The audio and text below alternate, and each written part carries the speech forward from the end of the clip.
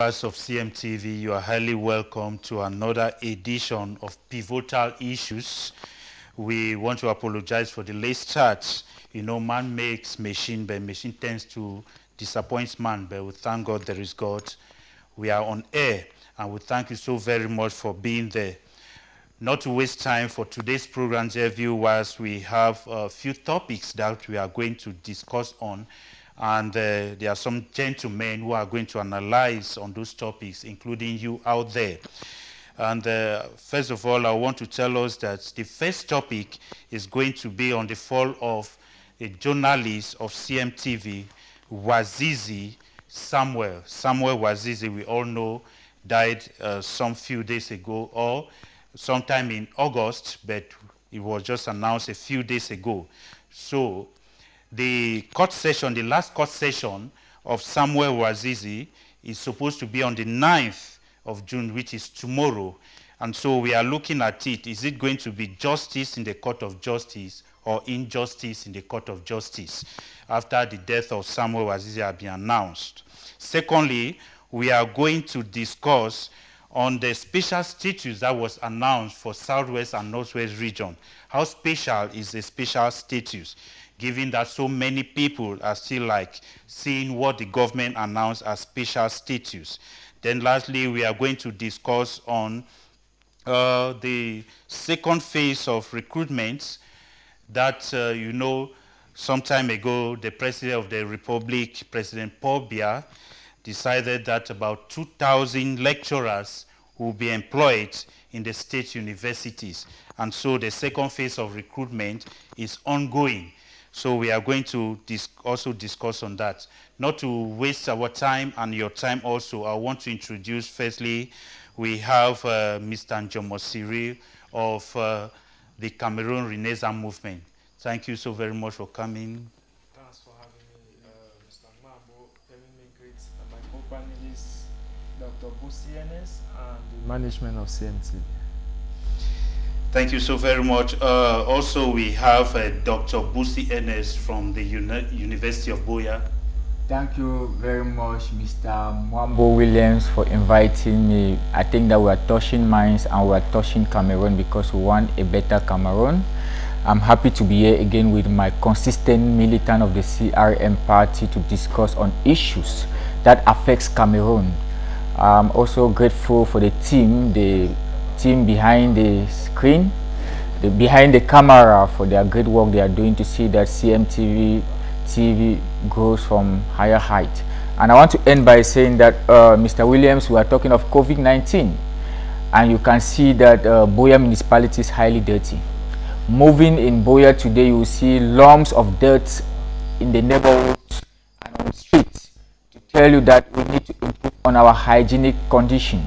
I'm calling on the council to do something about this because we are fighting against COVID-19 that is very dreadful. And we feel that our environment must, must be clean because we recently celebrated the Environment Day and I think that hurt is worth and it's high time the Buea Council and the Mayor they should take responsibility to see that uh, and his outcome to see that uh, the road junctions or the garbages are uh, taken out of it for us to fight against COVID-19. Thank you, Mr. Moderator. Yes, you just talked of COVID-19 and vis-a-vis -vis the school year yes. that is ongoing. You as a facilitator or a lecturer in the University of Buea, how can you assess the one week you have been in school? The one week we have been in school has been very, very imperative. I want to salute uh, the Vice Chancellor of the University of Buea, Professor, Mori, uh, Professor uh, Manga, for a great work done. I want to say that Professor Ngomo has, Horace Manga has done a great job because he's the administrator, he's the engine of the university, and he has been moving since school started. Uh, Professor Horace Manga has been moving from class to class to monitor lecturers in their classes. And in all entrances the university, you can see hands sanitizers, you can see water, you can see even test uh, the security doing that, testing students and uh, workers entering into the campus with the test kits to test the temperature of uh, students and workers. And in all amphitheaters, you will see uh, you will see uh, savon and wash hand basins to clean yourself, clean your hands, and every person puts on uh, a, a face mask. And we can also see the issue of social distance. Because I was teaching the other day, the Vice Chancellor even entered my class to monitor the issue of social distance, which he reiterated on it and I had to position my students again for the issue of physical and social distance. To tell you that uh, the Vice Chancellor of the university is doing a great job and I want to also say that uh, if you look at this issue of COVID-19, the University of Buea, you will discover that each establishment is very responsible for for the hygienic condition to see that uh, students don't come to the offices without putting their face masks because it is our individual responsibility. It is a collective university uh, responsibility. Sorry, and I want to also emphasize the fact that students are willing to learn face to face. We could see the zeal and the enthusiasm of students to learn, and we have to put them in class shift. But we have to put them in class in shifts see them learn. You teach some of them and then you, you send them out to, to, to teach the others for, for security reasons, for population reasons in the classroom. So they study intense. Uh, they study intense to tell us that uh, the Vice Chancellor, Professor Horace Manga, is doing a great job and I think that is a good administrator. JVU has great assessment there, so send your children to school when it is required. Uh, let me come back to you, uh, Mr. Politician Jomo Cyril. Um, you know, some of your colleagues were declared dead by the uh, social media, you know, the mayor of, uh, of Tiko. How did you see that after he came back on air? Well, uh, sometimes politicians will use that trick to make their name also come up. So knowing that uh, the Tico municipality is uh, headed by uh, the CPDM administration. I don't want to comment, give them cheap popularity. They could as well use that trick to, to top the, the headlines of the news. Also, our condolences to the Bar Association. We hear they are also bereaved. And so we pray that maybe God takes care of them. We are with them, we'll be praying for them. And so, dear viewers, as I said, without waste of time, we'll be going to the first topic, which talks about the death of uh, Samuel Wazizi, who was uh, a worker in the house with CMTV here. And so we are going to discuss, you know, two days ago, he was supposed to celebrate his uh, birthday. You know, he was born on the 6th of June, 1984. And uh, he was supposed to be about 36 years um, that is uh, on Friday. But unfortunately, uh, his birthday met him maybe dead. So we are going to look at it. Tomorrow, the 9th of June, is supposed to be the last session of his court uh, proceedings. Is it going to be a justice in the court of justice or injustice in the court of justice. There are so many people who are waiting for that. Okay, I want to come with you, Mr. Njomo Siri. Tomorrow, 9th of uh, June, he was supposed to appear before the law courts, even though he has not been appearing, they have not been bringing him. But this time, maybe he will be coming in a corpse. Um, Mambo Williams, it's important that we revisit uh, the personality of the deceased. Some people might be meeting the news for the first time, and so we are talking about um, a 36 years old uh, TV broadcaster. He was broadcasting live here in the pidgin language, and uh, since uh, August 2nd, 2019, he was kidnapped by the Yaoundé administration here, represented by their uh, policemen in the Munya constituency uh, kept under detention for three to four days and uh, later uh, transferred to the 21st Battalion, uh, which is a no-go area. Uh, since then, neither the family nor the Defense Counsel have had information from him until Equinoxe some uh, one week ago had to um, break the news that Samuel Wazizi is no more. It was a news that was first uh, handpicked as uh, pinches of salt uh, until the government was taken apart to make a public declaration.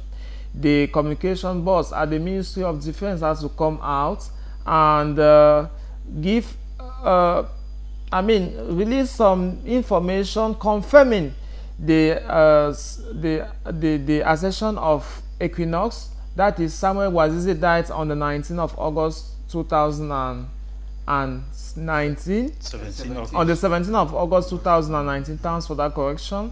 That is some 10 months ago. And so, for the concession that you are asking us to, to debate on today, it is important to revisit three era Okay. of uh, Wazizi's life.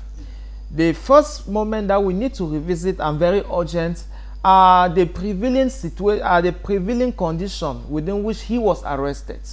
What was the was it done under the armpits of the law? It's important that we tell our viewers what transpired within that period. Secondly, the moment that uh, Wazizi's was um, uh, disappeared, I mean, when nobody knew about the whereabouts of Wazizi, it is important that we question the role of the judiciary within that period of time, which has been evaluated by some pundits to some close to 300 days. It's quite a long time.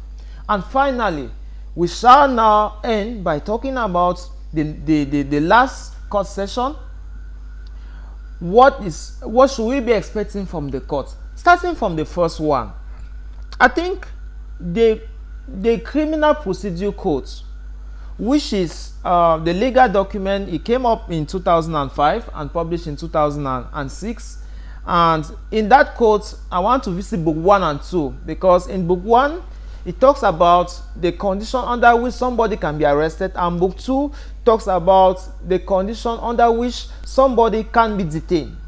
Talking about book one article 30 it focus on how do you summon somebody or how do you who issues the, the warrant of arrest now in this case according to a learned counsel uh, barrister Ewule Edward he explained lastly in our show here that uh, uh, late Wazizi Samuel was uh, summoned through the phone. Okay, the law does not make provision for that. And so he appeared, and nobody has pro have provided so far any process verbal where he was interrogated and given the opportunity to Explain. and given the opportunity to be assisted by a, a legal counsel. The law make provision for that on, uh, we are talking about section 30, sub D, that is sub 4, yes. The law make provision that the, the suspect is supposed to be given the opportunity to call the assistance of his lawyer. That was not done. We are talking about the faults that have been dictated in all the process. Then after that, under detention, I take you now to book two, where they say the suspect under detention supposed to be given access to medical care or the, the, the basic facilities. There's medical care, a phone call from the family, and, and so many other things. Report from the late, from, from the legal counsel of Samuel Wazizi still tell us that he was not given an opportunity to be treated according to the criminal procedure law. So, from the judiciary background, we have evidence to say that the court has failed from the two preceding era. Now, the opportunity is given to them tomorrow, as you rightly put it, the 9th of June, to first revisit what has been done previously, Yeah. all the lapses that are observed, and try to amend.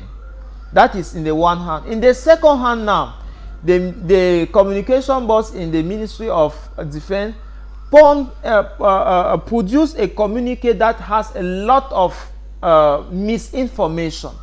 The first, they, they tell the press that Samuel Wazizi was arrested on the third. It is a lie. It was on the 2nd of August 2019. That is one. Two, he was transferred to Yaoundé. Uh, he had an illness. Up to now, the family was um, interrogated some few days ago and according to the medical cards the medical book of samuel wazizi there is no proof to show that samuel wazizi had once suffered from this kind of illness Sepsis. yes there is no proof so far Secondly, the family refuted any allegation of being in close collaboration with the administration or even the judicial court. So from those perspectives, it is the first assignment that to, in tomorrow's hearing, the first thing that the magistrate is supposed to ask to the accuser to is is to make provision for all these lapses that the government has has created to prove to bring the evidence the process verbal when he was arrested the condition under which he was detained the medical book that showed that he has a septic and last but not the least to, we expect that they should bring the corpse yeah because when the habeas when the habeas corpus was uh, uh, uh, first filed in court it was an opportunity for the judicial system for the court to to make available the suspect. But they failed to do that. It means that tomorrow is the last opportunity they have in their hand to produce the suspect. Now that it is known by everybody that the suspect is dead. They must produce the corpse of the suspect. To prove that actually the communique that was produced by the minister of defence actually correspond with real fact. If not we will say that we have a mushroom uh, judiciary system that has that is just having a shadow of itself. And so we will question our magistrates we will question every authority of the judiciary system. I think in the nutshell that is my first apprehension of what i expect from the from the judicial from the court session of tomorrow. Okay um, i'll come back to you. Uh, dr busi ernest you are a psychologist. And uh, before adding to what you also have to say what do you think? Because i really want us to look at because he's already dead i want us to look at some other things. What do you think has to be done as at now that the family is going, going through torture, psychological torture, the, the, the communication uh, family is going through psychological torture, CMTV is going through psychological torture. So many people are affected by this. Uh, yes, uh, I feel that uh, the family is in psychosocial pain at this moment. A pain that because their son was a buoyant son a son with prospects and he just died like that because the issue of his arrestation was an arbitrary arrest and uh, the government started talking of uh, the 2014 terrorism law and he was not even judged in court and uh, he was still suspect. But looking at it psychologically as you rightly asked mr mwambo williams i feel that uh, the government we need honesty because I feel that if we are able to be honest to tell the family what happened from day one to day to, to day 100 even or day 300 what happened to this gentleman? I think that the bridge to solve this problem first of all is, is honesty. Secondly we need a kind of therapist to this family. And what are these therapies because at this moment the family is grieving. Because when you look at some psychologists Kubler-Ross will say that what? In the dying process people bargain death people pass through depression. Before they even accept death they pass through a lot of depression. And now the family is grieving. There's bereavement. And they are still struggling to accept the demise of their son so in this process, they need comfort. And government needs to comfort the family. And government, government needs to come out and use soft reprimands. Use soft words of communication. And even send representative from Yaoundé or the year in Buea to comfort the family.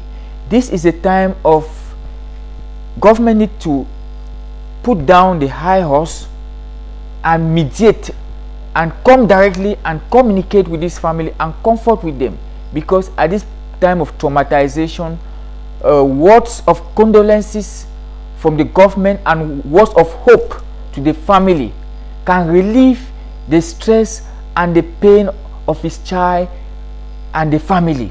So at this point in time, grieving, especially in Africa and in Cameroon, is a painful situation because the way of mourning, we mourn as a family, we mourn as a whole. So government needs to come in and also be part of this mourning. Be because if we put it as a blame game, the psychosocial torture will remain in the mind of the family because it is a, an issue of the psychic because the mind is a great weapon that hardly forgets so for these people to forget and continue with life they, they need comfort they need words of comfort from the government mr williams. Yes um, i want to stay with you. Yes. because in most cases maybe you see some money made available and so on. Do you see maybe job opportunities for those in the family who are not employed and maybe uh, it is difficult. it is difficult. It is really difficult to for that to happen but i feel that it, it, can be done but it's difficult in this country. Because can we it help to no, solve the it can, no it's not only money. It's not only money that can solve this problem the problem is first of all the family have not seen their their son okay. So I feel that I'm talking from a psychological perspective. I'm not talking from an economics perspective of money. The family needs to see their son because in Africa we have the rites of passage. We have in we have in in, in uh, when somebody dies in an African way, there's a rite of passage that we must ensure that the person pass into the spiritual to the ancestral selfhood and for this person to pass there are certain there are certain African rituals that must be performed for us to accept that this person is dead. When I say African rituals, it can be in church and it can be in an African way. So when we accept that and we we, we finally uh, buried our son, then we know that he passed away. But if the family doesn't see the son, the pain, the psychic of the family will never be balanced they will be in a, a state of psychodissonance, a state of mismatch in their in their mind system, a state, a state of nervousness, a state of anxiety, a state of stress, and even a state of post-traumatic stress disorder. So at this point in time, we need government to come out honestly to tell us what happened to this gentleman and to come out and comfort and give hope to the family. If they can help some of the children with scholarship, then fine. But I think that this is a gap that cannot be replaced. When somebody dies, the person cannot come. So we should respect human rights because life is very important. Life is sacrosanct. And I feel that the judiciary should do their work. And I feel that it is, was the responsibility of the judicial police to do its work because I still feel that in Cameroon today, we need separation of power. And if there was accurate separation of power, the justice house would have been doing their job without the military being involved. Okay, now that is the family side. But some people say, you know, the journalists are bereaved, they are feeling bad. Is it not high time the government to say no more arrestation of journalists, they should give them freedom of speech? But unfortunately, getting to today, we are hearing that one more journalist has been taken. Yes. Uh, journalists are in a great dilemma in this country because journalism and journalists fall under the fourth arm of government. And I feel that government have to respect this call because it's an independent, independent call. Government cannot do without journalists. Okay. And I feel that uh, the arrestation of journalists will not solve the problems of Cameroon. We need to be genuine about this. The arrestation will cause more conflict. But I think that for the case of Samuel Wazizi, most of these journalists would have come out massively earlier enough. Most of these journalists were supposed, the way they are advocating on social media, from the beginning, this they were supposed to be supposed to be uh, to have been advocating before for their brother to come out. I think that there was a delay tactics on the side of journalists, and journalists in Cameroon, they need to be bold. They need to be bold. They need to be brave because it was a, their responsibility to keep on talking about this issue, not after his demise. But I still feel that the government have to res respect the call of journalism because it is a call that stands for the right of the people. Okay. Uh, let me come to you, Mr. Anjomosiri. As he said, Dr. Busi Ernest said, can it be possible that the journalists in Cameroon can be as brave as we see somewhere else, when we see that maybe during uh, elections and other events, the military carry them around, politicians carry them around, they are afraid, so close to these people. Because some people are of the opinion that how can a, a, a journalist do the right thing when a politician will come pay him or her and carry him around to, to, to, to, cover an event. Or maybe at one time during elections or uh, other events, the military carry them around and maybe assess what they are doing I think your question, Mwambo Williams, you you have some iota of answer already. Okay. I will quote two values that I also dare to answer you. The first one says, economic justice can best be won by free men through free enterprises. And the second one says, Earth's greatest treasure lies in human personality. Uh, it's rather unfortunate that most journalists have sold what they have as pride. Is when I look around and see, be it big journalists, I mean senior journalists as uh, or beginners, the way they behave on the field, you hardly see a difference. Behind a, a green sheet of 5,000 francs, the way they panic, you ask yourself, do they know that they have gone to school for close to 15 years for some? Why can they not use the skill, the communication skill they have to generate money? Why must they submit themselves to the weak strengths of of, of gumbo. and so, permit me say, dear friend, dear Mwambo Williams, that you cannot buy the finger that fits your mouth. You cannot. It's not a particularity of Cameroon alone. But in some other country, the debate has advanced. We are still at the level of survival in Cameroon. I'm telling you, I've shamelessly participated in some conferences with journalists. You know, I'm, I'm, I'm a part time TV presenter. And so occasionally I've been invited to take part in anything that has to do with uh, expressions.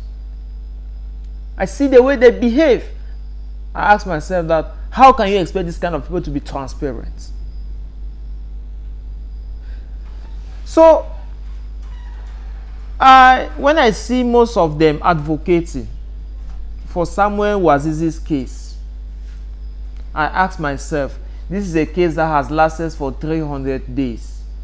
If you sum up, because one way to show that you are serious with a cause is the level of consistency.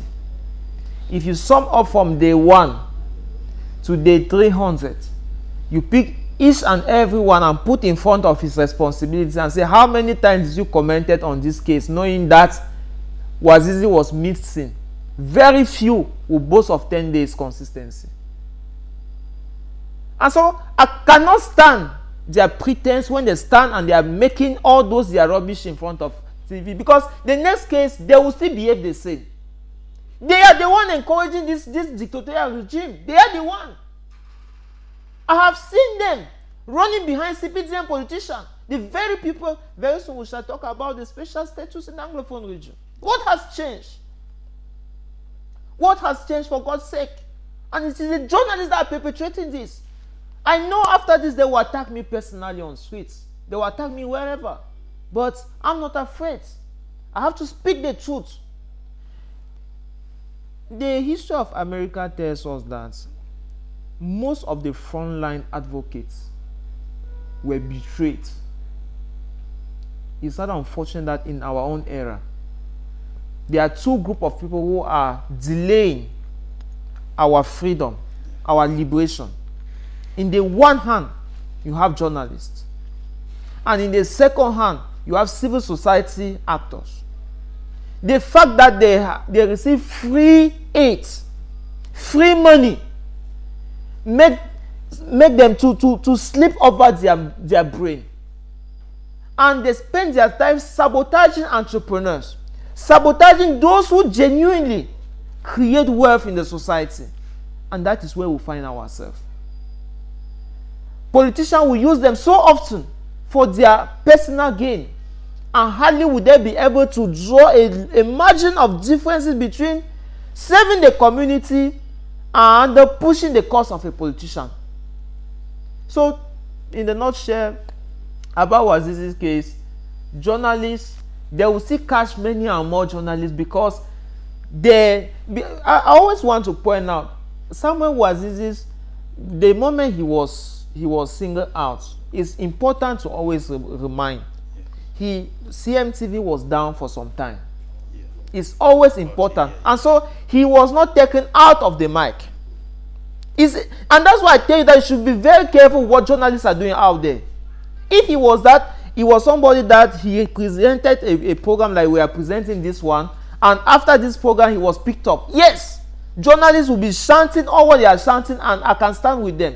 But knowing that this is somebody who did who was picked in an in, in when CMTV, the broadcasting house, was not on, I think we should be able to face the fact and ask ourselves why are journalists so wired up?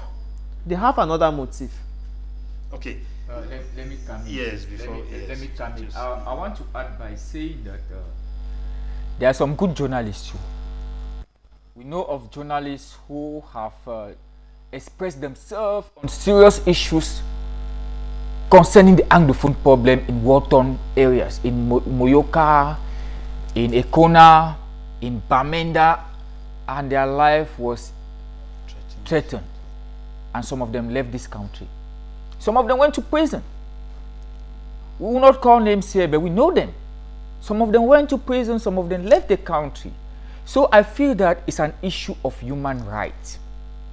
We must respect human rights in Cameroon. The Human Rights Laws 1948 there are certain principles that the right of people must be respected. We know of when the Anglophone crisis started, teachers and lawyers were radicalized. These are gentlemen. These are gen teachers are gentlemen. Lawyers are gentlemen. They were radicalized. Some of their wings were taken off their heads. They, they were brutalized even in Buea, we know, before this crisis is what it is today. So we are crying to our government, the government of the Republic of Cameroon, that we need justice in this country. We need to respect human rights. Many children are vulnerable today because of this issue of not respecting human rights. And many persons are displaced today and they are suffering. Many homes have been burned today. Many people are living in the bushes because we are not respecting human rights. The, the military must be sensitive. And the military should allow the police to do their job. The police to allow, should allow the military to do their job. And the military should do their job in a more civilian way. Because in Cameroon, we are not fighting a war with Nigeria. We are not fighting a war with the Gambians. We are not fighting a war with Equatorial Guinea our own brothers and sisters, our own bloods, whether in uniforms, military, the military people are dying, the civilians are dying, mothers are dying, young children are dying, parents are dying, the youths are dying. So it is high time President Biya looks for a solution to solve this problem. And I think that the problem of one Samuel Wazizi, it can happen to me, it can happen to anybody. So we must be very, very prudent and sensitive and put justice first and let the law court do its job. People are not judged. I think that the, we're looking at the Anglo-Saxon culture, looking at the English culture. You judge someone in the court before you see the person guilty. You cannot say somebody is guilty, somebody is a terrorist when the person haven't been judged in, and sentenced in court. So we should not take the laws in our hands. No Cameroonian is important than another Cameroonian.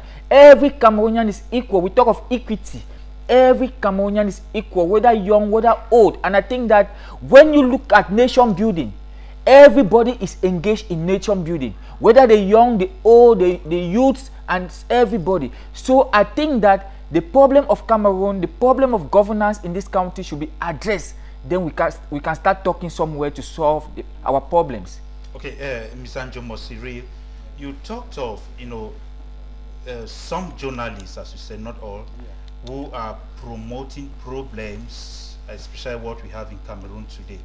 Now, we have three sets of people, as some people say we have the private sector journalists, we have the state journalists, and we have the administration. Now, we have the tendency, or the, we have situation whereby mostly it is the private sector journalists who face a lot of problems, while some people think that these problems, you know, uh, it is administration and the, maybe the state uh, uh media who always say things that move people to anger. What's your take on that? Listen, Mambo Williams, I still want to insist that today's discussion is not much of journalists' case per se. Yes. Once I've said that, bad journalists cut across the private sector, the parastatal, yes. the government it takes one person to understand that I can sleep for it. it's normal for me to sleep a day without eating. Tomorrow I might have food. It's not every day that you must eat. People should first of all put that in their heads. Once you cannot sacrifice a day without eating, you want by all means to satisfy your greed at the detriment of others. That is what I'm decrying here. Because those people will go extent just to have that 5,000 or have that small money they are looking for in the name of advocacy.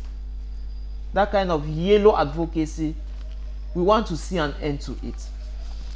Mambo Williams. Yes. The Anglophone crisis is a very critical issue. We have had journalists refuting some of us that are also using the mic. Mm -hmm. If, if Mr. Wazizi was still living, there are certain mil milieu that he will be restrained to enter because there was that question in the school where he went to be broadcasting on air. I personally have had that challenge. But if I die today, those same people will be pretending outside there that I was a journalist. I'm making more noise. I want to distinct I want to distance myself from that kind of attitude. We are young people, we are rising, and the leadership of tomorrow is in our hands. We start preparing it today. Mambo Williams, when we speak, we should speak for us and speak for the future generation. Let's let's let's let let's shine all those people who are using this case of this sorrowful case of Wazizi.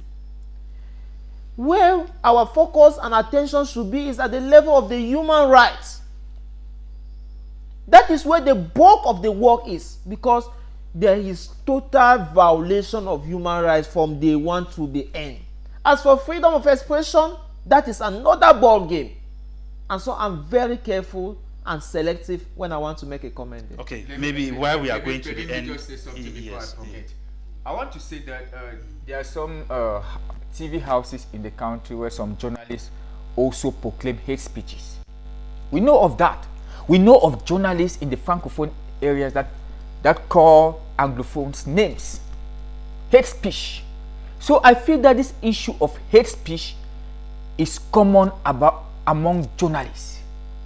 And these are things we know of what happened in the, the Hutu and the Tutsis. That led to a genocide. It led to a genocide which count in Rwanda because of uh, because of hate speech. And I feel that journalists must respect their words. They should understand what comes out from their mouth and many at times too you see that uh, i think that uh, the state media also have to be very independent and just when passing information and i want to end do you know that recently Equinoxe tv was was attacked because they were advocating for the truth so, at, so what i'm still saying is that we we should live in a country that allow freedom of speech freedom of expression and put justice first. Because when we put power, we put draconian measures, we put harsh measures first, we are not going to solve the Cameroonian problems. We can only solve the Cameroonian problems when we respect the law and we put the justice system firm. Okay, while we are taking a bend to this topic, uh, Mr. Njomosiri, uh, if I want you people now to be somehow prophetic now, tomorrow, the 9th of June, we expect the court session for Wazizi. Now, what do you foresee to happen that tomorrow? That the irresponsible government will not produce the cops. If we are not careful, they will adjoint. And They are adjourned for a dead man. yes, they, they don't care. I'm talking about a government that have no remorse. People are not responsible. Nobody cares. Don't you see the And- judge and- penalizing some of those officials And, who and, surround? and what, what, what makes me smile out of all this is to see the pretense of, of, the, the- of, of those who surround the whole game. It's like a play. See, he has taken $20 for America to be almost burned down with the case of George Floyd. Are you getting me?